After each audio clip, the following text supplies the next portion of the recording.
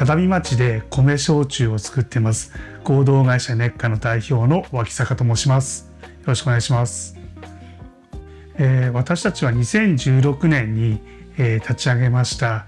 米焼酎を作ってる会社になるんですけどもただ米焼酎を作ってるのではなくてお米から一貫して作ってる、えー、全国でも珍しい、えー、ベンチャーの焼酎の蒸留所になります。旅町の田園風景をえー、次世代に残すっていうことを農家さんたちと考ええー、2017年に福島県初となる米焼酎、えー、特産品焼酎免許を取りまして約5年ですが、えー、海外海外からも海外の品評会の金賞とか、えー、いただきまして味の方でも、えー、大変評価を得ている焼酎になります。えー、弊社の焼酎、えー、全国でも販売しておりますし、まあ、海外イギリス香港を中心に、えー、販売させていただいてます。全国の小売店さんをはじめ、えー、飲食店さんでも飲むことは可能です。で地元でも、えー、購入できるんですけども、えー、弊社の焼酎地酒っていうものを目指してますので、えー、地元を中心に販売をしてます、えー、弊社の、えー、焼酎は香りにこだわってます。銀条香日本酒の銀条香のようなフルーティーな香りが特徴的でこの香りを出すために酵母の開発もしてます、え、自分たちで、え、育てた第三者認証のギャップっていうものを取得した、えー、補助で取ったお米を使用してで福島県の醸造技術を用いた香りの高い、え、米焼酎ということで今までにない、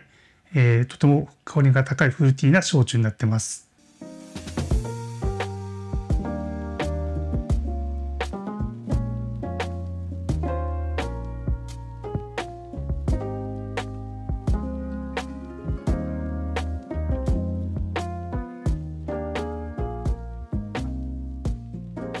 私はずっと福島県の郡山に生まれ育ちましてもともとは建築っていうものに携わってました。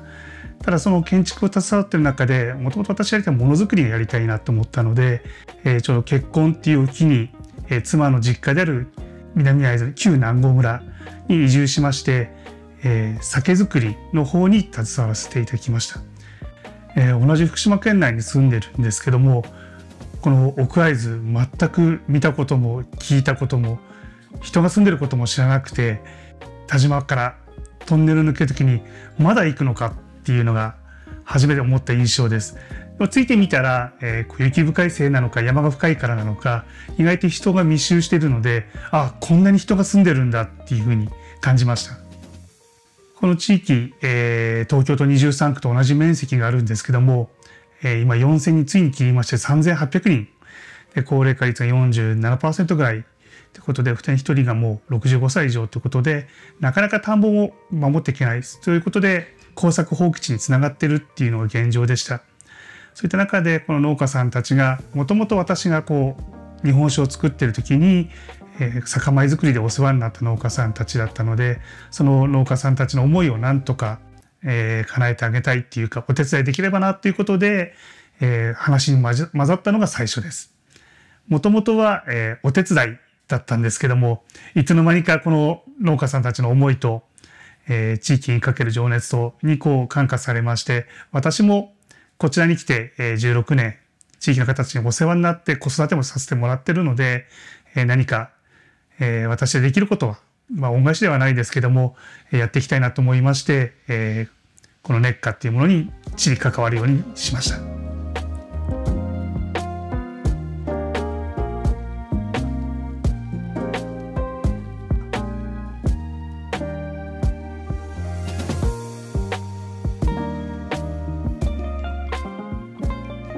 こちらに移住して、まあ、自分も地域の人たちいろんなものを教わってえー、なかなか郡山都会かどうかわからないですけども川遊びとか、えー、山にこう入っていくという経験あまりなかった時に地域の、えー、年配の方たちがいろいろ教わってました。でこれはやっぱ子どもたちにもちゃんと伝えないといけないなっていうことで、えー、親父の会っていうのを立ち上げて、えー、子どもたちと一緒にこう学ぶっていうことを始めたんですけども実は地域の子どもたちっていうのは学校で授業として、え、地域学っていうものをすごい学ぶんですけども大人世代が意外と知らないっていうことに気づきまして、えー、子供っていうものがメインなんですけども実はそれに関わる大人たち親たちが、えー、一生懸命地域のことを学ぶっていう活動に変わっていきました。とまあ、地域の農家さんたちとうちの会社始まってるんですけども、えー、ただ単にお酒作るっていうよりも地域が欲しがってるものを作るっていうところでいろんな関わりをしてます。やっぱりこういったものづくりってこう同じベクトルを地域の人たちも持たないとうまくいかないと思うんですけどもまずこの地域でまず特産品とかお土産になるものがなかったっていうところでお酒とかなんか商品が欲しかったっていうベクトルが一つ。で地域の田んぼを守りたいっていう部分で一つのベクトル。でもう一つが地域のこの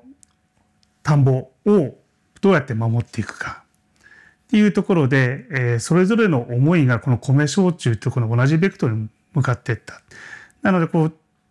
街中を挙げてっていうかみんなが欲しがってたものを作ったのでみんなが応援してくれたっていうふうに感じてます。これが自分よがりな焼酎とか商品を作ったら多分こうはならなかったかなっていうふうに感じてます。えー、もともとその日本酒蔵で働いてる時に、えー、地域の子どもたちに伝えられるものは何かないかということで田植え稲刈りをして酒造りを体験していただいてでそのお酒を二十歳の時にプレゼントするっていう取り組みをしてましたこの地域どうしても、えー、高校までは通えるんですけどもここから自分の家から通える専門学校大学っていうものが全くなくて必ず必ずではないですけどもほぼ高校卒業後外に出てしまいますで、最初に戻ってくるのがその二十歳。今、成人式ではなくなってしまった二十歳の集いって形なんですけども、その時に戻ってくる。なので、その時にこう、お酒も飲める年になりましたので、みんなでこう、えー、集まって、こう、うちのお酒を飲みながら、また昔のことを思い出しながら、そうすると地域に何かできないかとか、帰ってくるとか、帰ってこずとも、えー、今できることとか考える、そういった場になればいいなっていうことで始めたんですけども、焼酎はむしろ寝かせた方が価値が上がりますし、もらって嬉しくなったりとかっていうことになってきますので、じゃあ、どうせなら、えー、小学校の時にやろうっていうことで、えー、実は今小学5年生からうちの焼酎作りに携わっていただいてます。なので5年生が田植え稲刈りをして、えー、そのお米を一緒に給食で食べて、そのお米で焼酎を作ってあげて、えー、子供たちがラベルを書いて、で、うちで9年間保管させていただいて、二十歳の時にプレゼントしてます。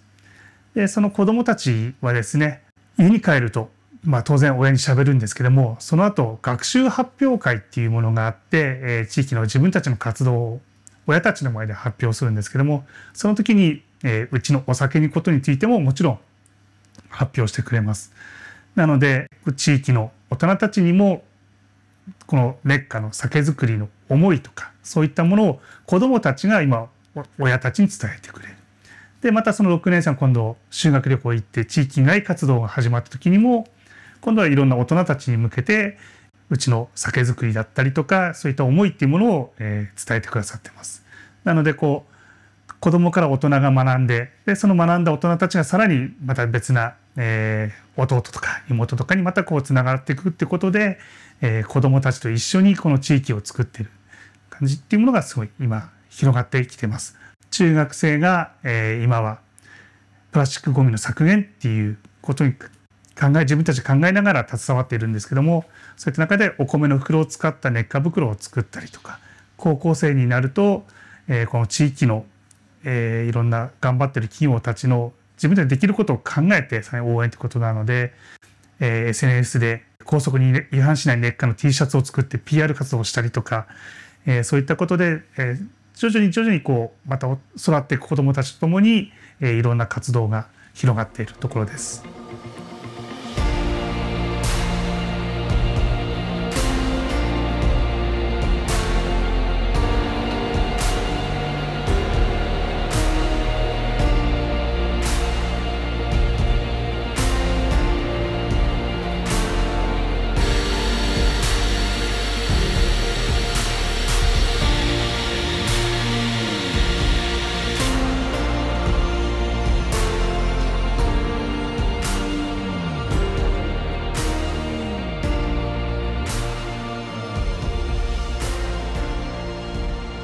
そうですねあのよく「岡会津どこがいいですか?」って聞くと「自然豊か」とか「人がいい」とかってあるんですけど要は自然って人しかいないと思うんですよね 他何かあるのかっていうところになってくると思うんですけどでもこの自然の豊かさとか、えー、自然がいっぱいっていうのは、まあ、実はあの、もう当たり前ではない風景でしてそれがきちんと残ってるのがやっぱすごいなっていうのがあります。で自分たちはその自然の中で生活させていただいてるんですけども当然ながら熊に出会ったりとか、えー、いろんな野生生物、まあ、うちの補助夜ドローン飛ばしたら熊1頭鹿2頭いたぐらいなんですよね。なのでどちらかっていうと自然の中に自分たちが住まわさせてもらってるっていうところなんですけどもなのでそういった自然豊かな中で、まあ、雪降るのも当たり前じゃないですし熊いるのも当たり前じゃないんですけども、えー、そこでやっぱ生活するっていうことがさらにこれ人間の人間設計って言いますかあの人間らしさっていうのをなんか取り戻してくれるのかななんていうふうに思ってます。なので自分の子供たちも本当に素直に都会に出てそれでいいのかなっていうぐらい素直に育ちまして えー、いろんなこと巻き込まれないといいなと思ってるんですけども、えー、まあそういったやっぱ自然があるからこそ人の豊かさにもつながってくるんじゃないかなと思います。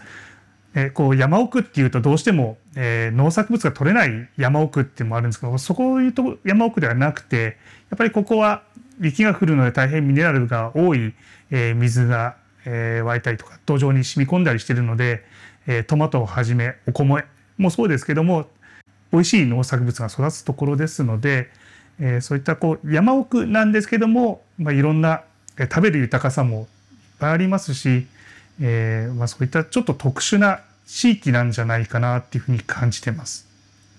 子育てって言いますと、あのやっぱりこう小学校からとか保育所からでだいぶこう関係は変わってくるとは思うんですけども、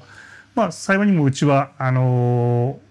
妻の親との同居ってことなので、まあ、親がだいぶ面倒を見てはくださってはいたんですけどもやっぱりこうなんですか都会だったらこう子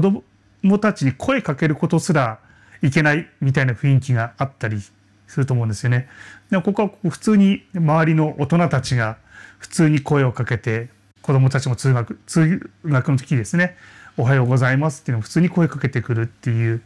なんかそういった当たり前の中でみんなが見守ってる感じっていうのがすごいあります。なのでこう、まあ、自分の子供がどこかで自転車で転んだ時もすぐ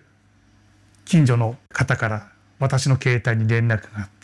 お前んとこの息子どこどこ転んでたけど大丈夫かとか、まあ、そういった感じで本当にこういろんな目があるっていうのがすごいなと思います。田舎ってこう良くも悪くもやっぱり人間関係だと思うんですよね。えー、人が近いっていう良さと人が近すぎるっていう悪さが同居してるのがこの地域だと思います。どうしても人が近いとやっぱりこう煩わしさとかあったりもするんですけどもえー、逆に人が近いことによって、えー、いろんな見守りだったりとか、えー、この地域集落で同じ名字が多かったりもしますので下の名前で呼ぶ風習があります。やっぱそうするとやっぱりどうしても親しみっていうのはすごい感じやすいと思うんですけども、まあ、それが当たり前のように、まあ、なんでよそ者の私からすると下の名前で呼ぶっていうのはすごい抵抗があるんですよね。なんですけども皆さん下の名前でえー、まあ私の名字珍しいので県内でも皆さん結構上の名字で呼ぶんですけども慣れてくるとだんだん下の名前で呼ぶようになってくる。まあそれでようやく私もこの地域に馴染んできたんだなっていうふうに感じてはいるんですけども人がこうそばにいるから安心して生活できるっていうのもあると思います。もう子供たちも、えー、普通にその辺で遊んでても川で遊んでても必ず誰か大人がいてで川で怪我すればすぐ連絡が来てやっ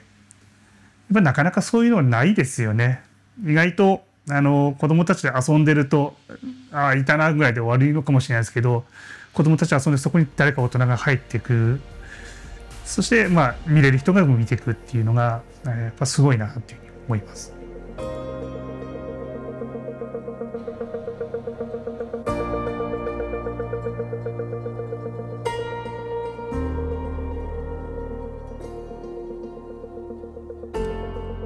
の只見町どんどんどんどん人口が減ってます。私たちが来た2000年には6000人ちょいいたんですけども約20年間2000人以上減ってしまってるっていうところでで子どもたち川遊びとか山で遊ぶとか、えー、冬雪山で遊ぶとかいろんな楽しいことはあるんですけども、えー、やっぱ子どもたちの選択の幅ってやっぱどうしても少なくなってしまっている、えー、サッカーやりたくても子どもの人数がそこまでいないので個人でできるスポーツしかできなかったりとか、ね、本当だったらコンビニでいろんなもの買いたいのにコンビニが40キロ以上先とか なかなかこう後ろ向きのことがいっぱいある中でじゃあ子どもたちに帰ってきなさいって言えるのかなっていうと難しい環境であるとは思います。もちろん病院も遠いですし今現状出産もできない地域ですので子どもたちが戻ってきて子育てがきちんとできる環境っていうものが今現状あのちゃんとあるかというとないかなと思うんですね。自分たちはこの田んぼを次の世代につなぐっていうことはちゃんとここで、え生活できるコミュニティを、え構築しようっていうふうに考えてますのでせめてあの大人たちが、えこんな地域で出た方がいいよって言わずに、え戻ってきたら戻っておいでって言えることをやっぱり自分たち大人がやっぱこうきちんと作っていくでその仲間たちと一緒に作っていくってことが大事だと思うので、えー、これからの子どもたちに向けて、えー、一生懸命、まあ、自分ができる範囲って本当小さなことかもしれないですけども